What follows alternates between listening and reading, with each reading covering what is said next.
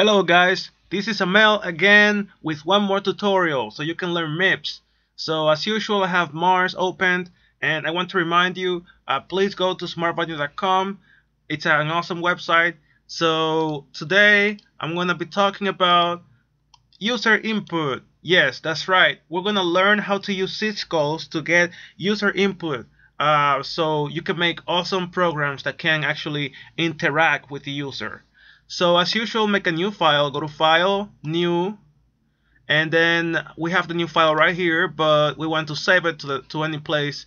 Um, in my case I'm gonna save it to my desktop and I'm gonna call it user input user input .asm so save and as usual we have two sections that data for all the data and that text for all the instructions and in, I want to place two messages in random access memory. So they're gonna be text they're gonna be strings. So I say prompt because I want to prompt the user uh, colon that ASCII Z. And then I want to say um, enter your age. So this is gonna be asking the user to enter the age. And then I want to make another message and this is gonna be message.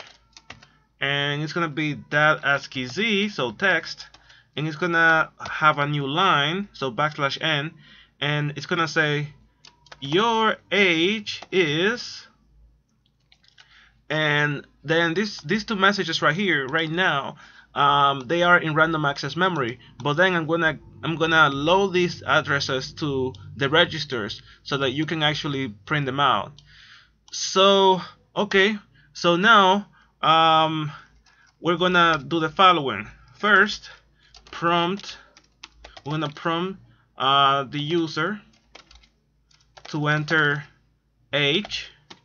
So I'm gonna, we're gonna say load immediate dollar sign v0 comma 4 because that's the code uh, to we're telling the computer to that we're going to print uh, a string or a, or text.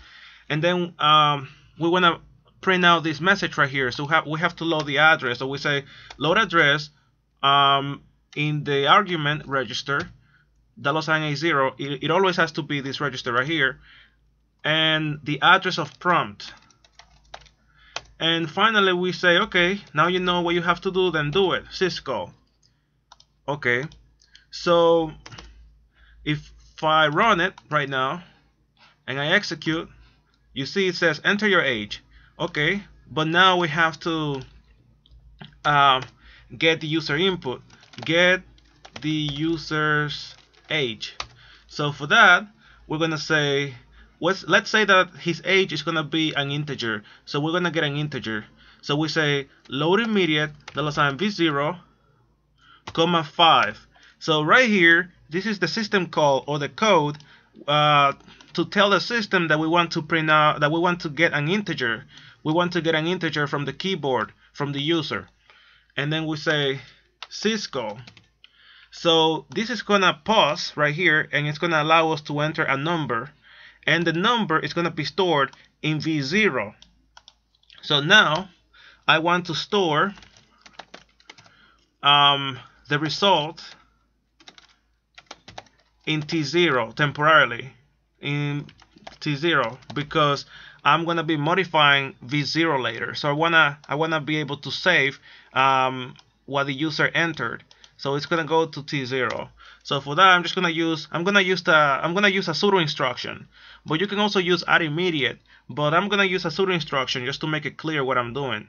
So move to dollar sign T0 the value in dollar sign V0 so right here the user entered a value and the value was stored in dollar sign V0 but I don't want it there because um, I'm gonna be modifying the value in V0 later. So that's why I have to store it in a different register. So I move the value from V0 to T0 and now that I have the user uh, the user's input uh, I can do whatever I want with it. So I'm gonna display the message.